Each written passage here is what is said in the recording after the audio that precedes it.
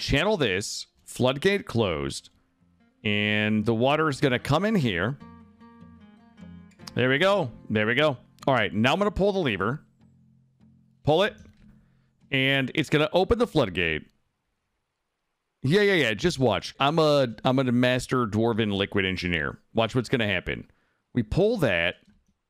Floodgate goes up. The water is going to come all the way down this hole and it's going to fill this up. And you'll see. All right, all right, all right, all right, all right, all right. Go, go, go. Pull the pull the lever again. Pull the lever again. Pull the lever.